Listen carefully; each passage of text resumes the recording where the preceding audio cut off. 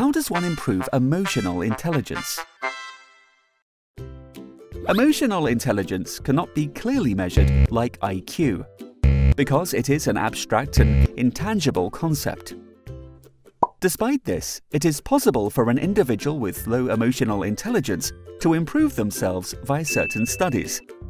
If you want to improve your emotional intelligence and be successful in all parts of life, know yourself. A person must first be aware of their emotions before they can learn to understand and manage them. Knowing your emotions affect your thoughts and behaviors and will help you make healthy decisions in your work and private life.